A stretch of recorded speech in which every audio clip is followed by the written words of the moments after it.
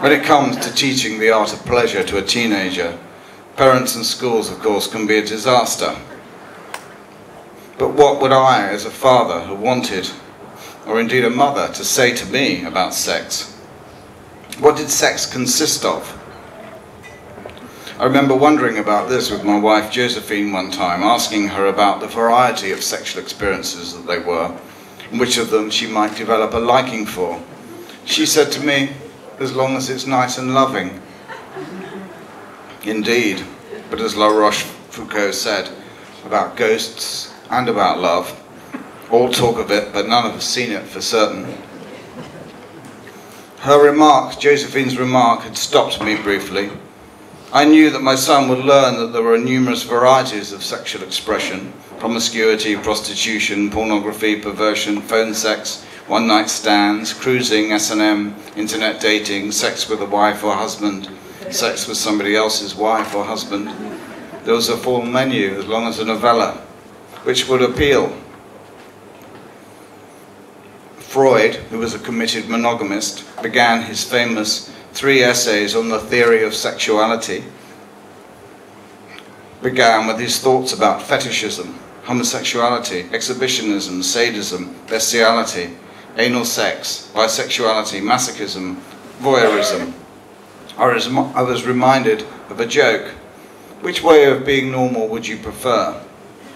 Neurotically normal? Psychotically normal? or perversely normal. Perhaps my son would one day prefer to be blown by a stranger in a toilet, or perhaps he'd like to be spanked while being filleted by a Negro transvestite. The side circles of pleasure were manifold, and with an aesthetic edge too. There was smelling, hearing, tasting, and speaking. More than half of sex is speaking, apparently. Words ignite desire and speaking is an, is an erotic art. What could be more erotic than a whisper?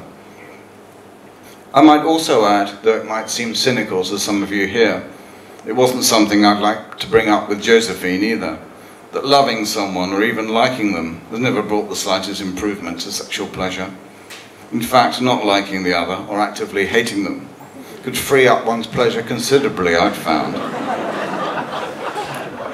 Think of the aggression, the hatred, and the violence that a good fuck involves. What then were the pleasures for my son, and who could guarantee them? Should I have been guiding the train of his desire towards the ultimate, if tyrannical, ideal destination, what Freud called, somewhat optimistically, full genital sexuality? Or should I suggest he stop off at some of the other stations and sidings first?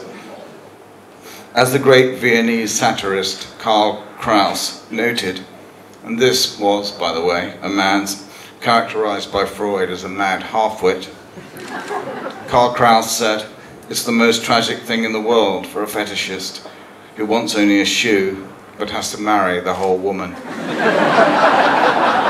Thank you.